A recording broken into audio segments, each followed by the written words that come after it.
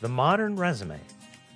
In this video, you'll gather research-backed resume strategies that will improve your likelihood of attracting employers with this job search staple.